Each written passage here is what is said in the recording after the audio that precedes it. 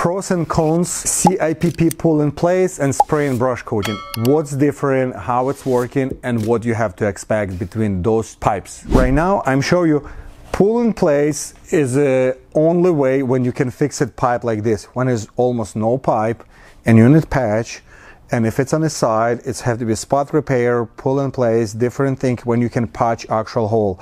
Spray and brush coating doesn't really work over here. If it's only on the bottom, we can fill it.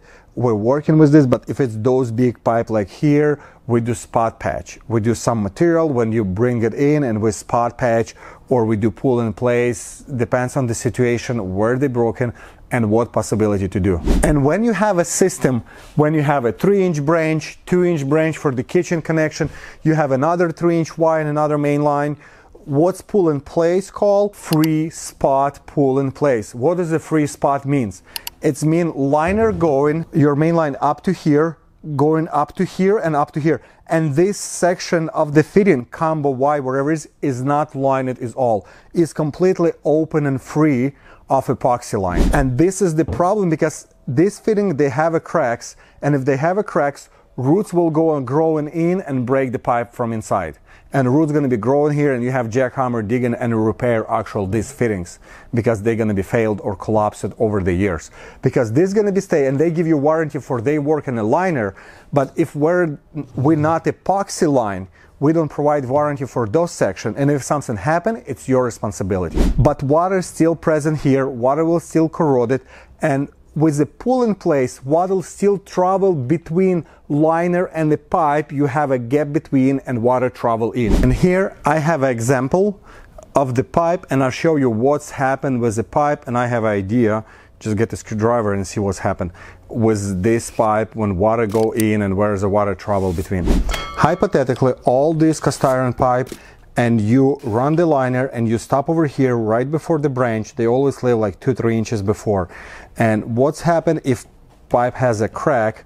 And over here how you can see you have a room between liner and pipe and it's always room. And when pipe has a crack and they eventually crack because water gonna be go here and water always gonna be travel before the liner between two pipe. And when roots going in they easy break the pipe and they move it align it and break it the liner. And nothing what you can do with that because you have a source of water coming here and working and breaking the pipe. But when we do spray and brush coating then all this pipe is 100% lined. And your branch is 100% liner. You don't have a line it only to here from here to here and from here to another line. Because this is called uh, free spot liner, like they leave it a free spot, and people don't understand what mean free spot, but it's mean they don't touch the cast iron pipe inside and they don't line it inside as all. And this is the big problem you will have in the future and eventually have to jackhammer and dig in because nothing else is going to be help when pipe collapse completely.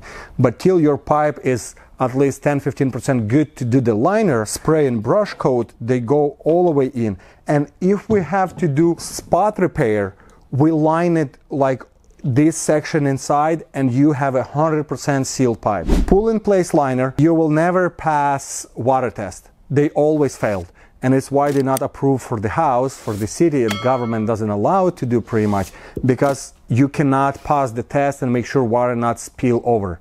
With this spray and brush coating, it's a 100% seal pipe and you can pass water pressure test. And we did already and we passed inspection and hold water perfectly with no question at all. If you have access, you can go through the pipe and cover it completely.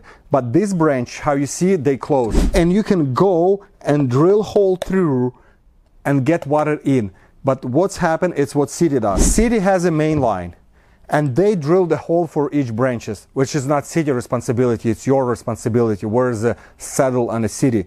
And when they do this way, here is always most of the roots. It's right here coming in and block your drain.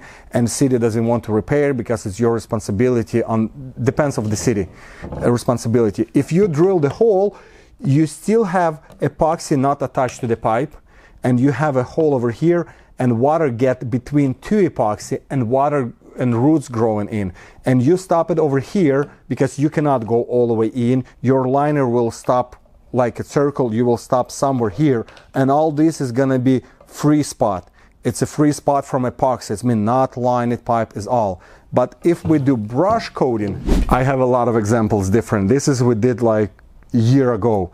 Uh, and this is the 3 by 2 You will never able to go 2 inch all the way in with all turn and keep a full opening pipe and completely epoxy line here and is no free spot is all. Pipe 100% lined and hold the pressure and hold the water and no problem is all with your pipe in the future. Harder part of the work, wherever is inversion or this, it's a descale cleaning and prepared pipe. You can watch another video where we show you difference between good job and bad job pull in place. And over here, you can look at difference between the pull in place liner and spray and brush coating liner and make your choice and decision.